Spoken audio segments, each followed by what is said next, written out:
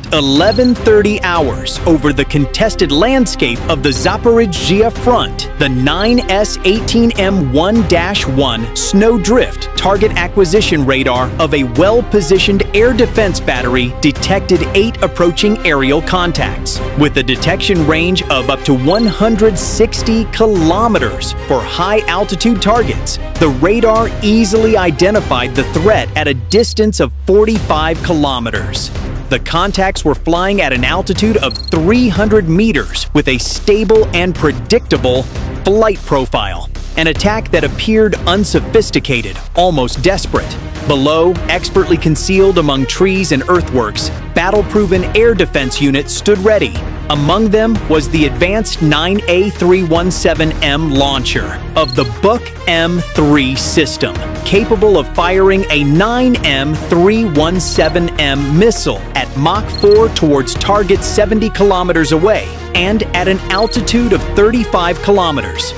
Alongside it, an older but reliable Buk M2 launcher with an effective range of 50 kilometers provided medium-range protection. Meanwhile, a modernized Buk M1 with a 90 to 95% intercept probability against combat aircraft guarded the perimeter, ready to engage targets up to an altitude of 25 kilometers.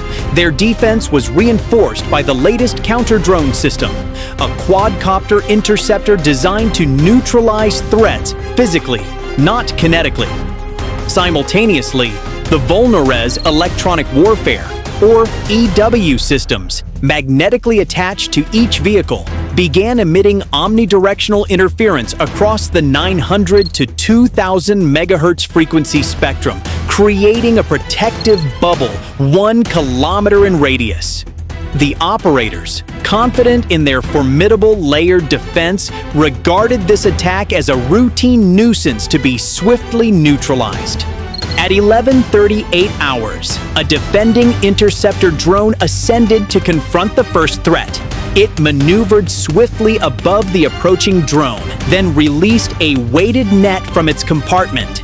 The net deployed perfectly, instantly entangling the attacker's spinning propellers, sending it spiraling uncontrollably to the ground. It was a clean, quiet, and successful intercept, Lured by this easy initial success, the battery commander decided to demonstrate full force and test his primary systems. As the second drone approached, a $50 million Buk M3 launcher aimed its third generation phased array radar and locked onto the target in under 10 seconds. With a deafening roar, it launched a single 9M3 17M missile.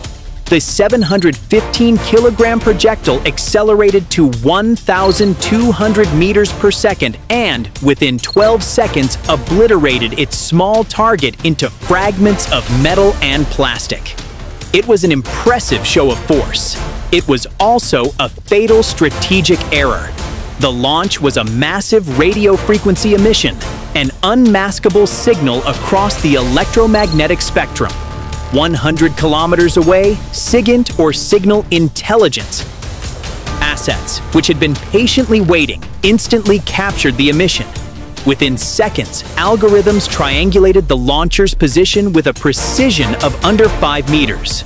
The operators, unaware that their most valuable position had been exposed, proceeded to eliminate the remaining threats with remarkable efficiency. One by one, the remaining drones were destroyed by accurate missile fire. The Buk M2 variant, capable of engaging up to 24 targets simultaneously, fired a 9M38M1 missile, destroying the 5th and 6th drones. The final Buk M1 launcher, tasked with cleanup, eliminated the last two. By 11:48 hours, the sky was quiet again. The initial report sent to headquarters was a total success. Eight out of eight aerial threats had been neutralized. The engagement appeared to be over before it had truly begun. However, the real operation was just commencing. The first attack was merely a carefully calculated sacrifice, a bait designed for a single purpose to force the air defense systems to activate their radars, fire their missiles, and in doing so, sealed their own fate. At 11.58 hours, the surprise came from an unexpected direction. 12 stealth FPV drones, which had been flying low at just 15 meters above the ground, using every contour of the terrain to hide their approach from the radar horizon, suddenly appeared from behind a ridge. They were now inside the Buk system's minimum effective range, a dead zone of approximately 2.5 kilometers, where the large missiles, designed for high-speed targets at altitude, could not maneuver.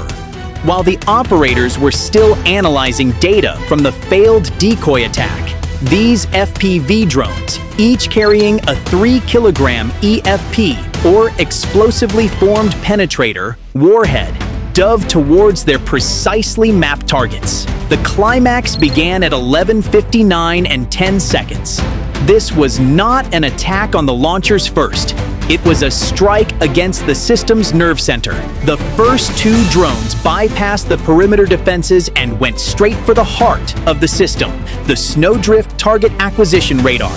One drone struck the phased array antenna, tearing it from its mount, while the second hit the power generator at its base, silencing the eyes of the entire battery. At 11.59 and 30 seconds, the 10 remaining FPV drones began their final attack run.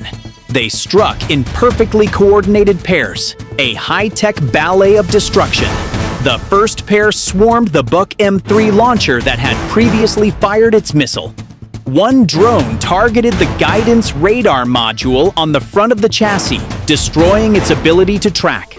The second drone targeted the missile launch tubes directly, the EFP warhead's detonation created a jet of superplastic molten copper traveling at over 8,000 meters per second, easily penetrating the missile casings. At 1200 hours, the result was a catastrophic chain reaction. The solid propellant inside the five remaining nine M317M missiles ignited simultaneously, turning the $50 million vehicle into a 50-meter high fireball. Secondary explosions tore the 35-ton chassis apart as the 70-kilogram warheads inside detonated sympathetically. The next wave targeted the Buk M2 launcher. Again, the same tactic was applied one drone to disable the radar, the second to trigger the munitions. The explosion was not as intense as the M3's, but it was just as terminal, sending shrapnel in all directions. Finally, the older Buk M1 launcher, which had expended two of its missiles on the decoys, was targeted. Even with only two missiles on its rails, the resulting blast was powerful enough to tear the turret from its chassis. A high-altitude reconnaissance drone recording the entire event confirmed the results. Multiple air defense launchers of various models, along with their primary target acquisition radar, were reduced to smoldering wreckage. Operation Torn Umbrella was a success, a 70 kilometer wide gap now existed in the area's air defenses, a corridor purchased with 20 drones and a brilliant deception tactic. Watch your six.